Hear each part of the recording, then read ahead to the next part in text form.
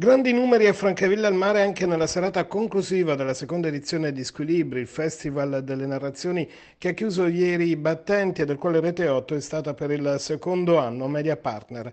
Notevole la partecipazione del pubblico con il colpo d'occhio impressionante al piazzale della stazione per sentire il racconto dettagliato di una delle pagine più oscure del nostro paese, quella della trattativa tra Stato e mafia nel libro Il patto, scritto a quattro mani da Nicola Biondo e Sigfrido Ranucci. E quello che emerge chiaramente è un patto scellerato tra servizi segreti, mafia, eh, destra eversiva, massoneria deviata, è un patto che è consolidato nel tempo e che non fa gli interessi del nostro paese ma è di riferimento a un patto atlantico e questo è quello che emerge nel racconto del libro. La cosa impressionante di questo libro è che è arrivato alla diciassettesima ristampa eh, proprio perché ha all'interno dei fatti narrati la sua forza.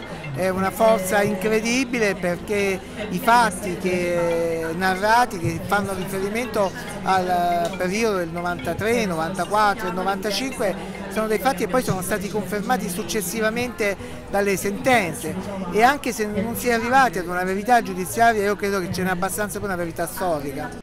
Altra che star della serata Enrico Gagliano, scrittore particolarmente amato dai giovani, invitato a Squilibri da Nadia Tortora che per il festival ha curato il rapporto con le scuole per parlare del suo intenso ultimo romanzo. Geografia di un dolore perfetto, ultimo libro di Enrico Gagliano, questo straordinario rapporto padre-figlio. Ho provato a raccontare uno dei rapporti più difficili che esistano, quello fra genitore e figlio, prendendo spunto da un fatto personale, da una storia vera accaduta poco tempo fa, fra l'altro.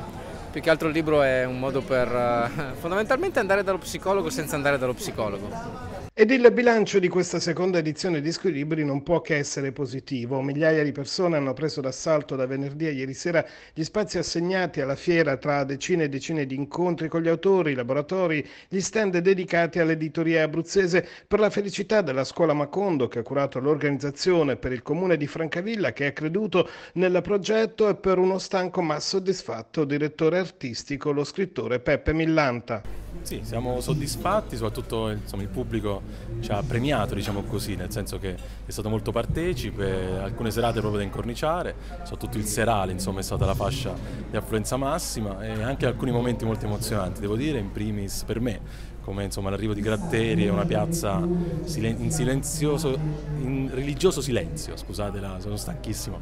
E quindi sì, insomma, una tre giorni di cui possiamo essere più che soddisfatti. Bilancio importante e si pensa già alla terza edizione. Di già?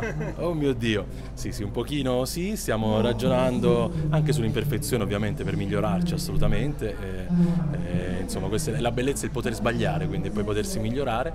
E sì, stiamo ragionando anche in termini un po' di partnership con altre enti o istituzioni per creare un po' di rete sul territorio che è poi quello di cui abbiamo voglia sostanzialmente.